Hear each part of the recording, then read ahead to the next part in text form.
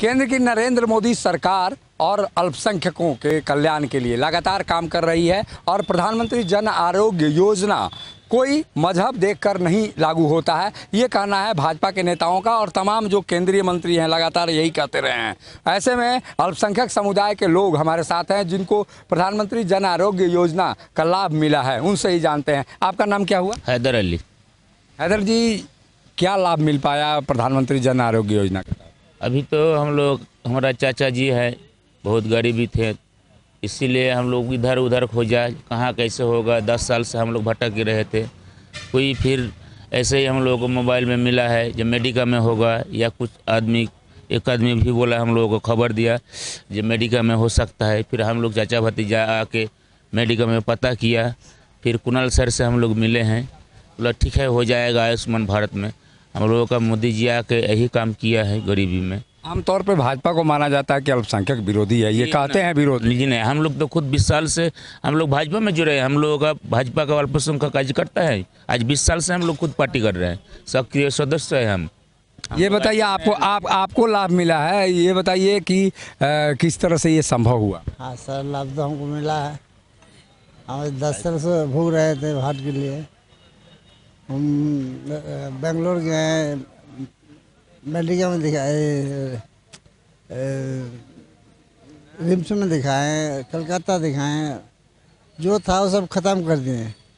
अब लास्ट बचा थे हम, वो भी एक महीना के लिए। डॉक्टर हमको रिजेक्ट कर दिया था, कि एक महीना में तुम कुछ कर लो, नहीं तो हाँ जाने वाले हो। हम लड़के बच्चे को सबको बोले कि ऐसे बात है, आप अपना पैसे कराओ, चाहे सरकारी पैसे कराओ। अब अपना पैसा तो कुछ करना है, तब घर द्वार बेचना है। तो हमारा कुछ आदमी ने बोल दिया कि ना मीडिया में सब होता है। और कार्ड तो हमारा बना हुआ था। लड़का को लेके आए। अब डॉक्टर से बात किए तो बोले हाँ हो जाएगा, मगर तुम्हारा अब देर करना नहीं है। तुमको एक दो दिन में करना है। आज तुम घर जाओ और तीन आदमी को साथ ले आओ। और दूसरा दिन तुम हम ऑपरेशन कर देंगे और उसी तरह ये, ये लगा आपको कि केंद्र की मोदी सरकार अल्पसंख्यकों खासकर मुसलमानों के लिए भी है? सबके लिए है। सबके लिए। बराबर है। कोई जातिवादी नहीं है। इसमें कोई जातिवादी नहीं। हम लोग तो खुद मोदी जी का पार्टी आज 20 साल से हम लोग जुड़े हुए हैं पाकुर में। पाकुर अल्पसंख्या में हम लोग महामंत्री में है। इस आ, आप कहाँ से हैं? हम सर रांची रांची से ए, निवासी हैं। हिंदपड़ी मेरा घर है और हम तो ज़िंदगी और मौत के बीच में जूझ रहे थे, लेकिन जब हमको पता चला आयुष्मान भारत के बारे में नरेंद्र मोदी जी ये स्कीम चालू किए हैं तो अचानक मैंने एक एक चीज़, एक एक चीज़ हम, हमारा वो बनता चला गया। गोल्डन कार्ड बन गया अचानक, मेडिका में गए, वहाँ पर ट्रीटमेंट, एकदम फ़ौरन डॉक्टर साहब जो बोले कि हम फ़ौरन इनका ट्रीटमेंट शुरू करेंगे, क्योंकि हम बहुत क्रिटिकल पोजीशन में थे। उसके बाद मेरा बहुत अच्छी तरीके से इलाज हुआ।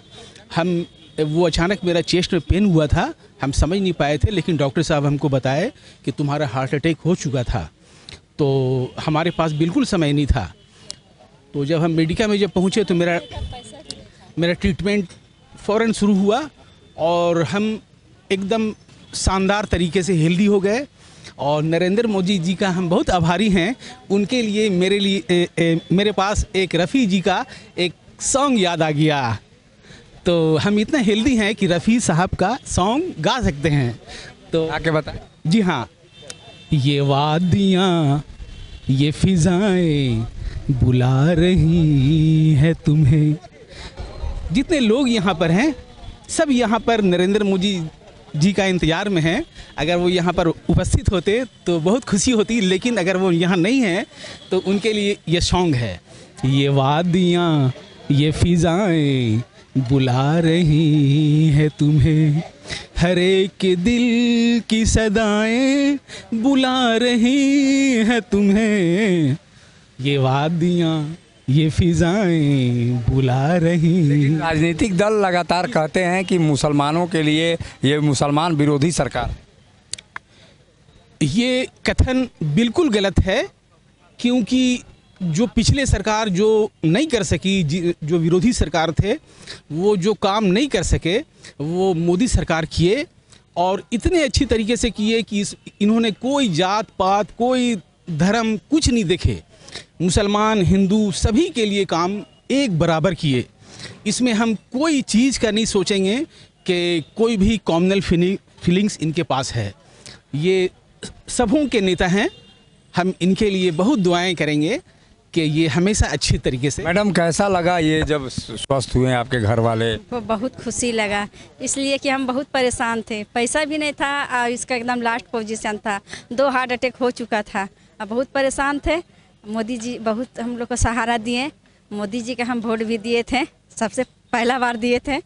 बहुत खुशी लगा। उसमें कोई भेदभाव नहीं है। का मुसलमान, का हिंदू। एक ही देखते हैं सब नज़र, एक नगर, नज़र से सबको।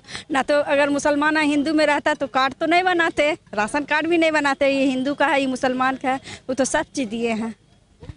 सियासत करने वाले लोगों ने मजहबों की दीवारें खड़ी कर दी है, लेकिन केंद्र सरकार की योजनाएँ ये साबित करती हैं कि मज़हब मजहबें आड़े नहीं आ सकती हैं योजनाओं के। सहयोगी उपेंद्र के साथ अशोक कुमार, मुखर संवाद रांची।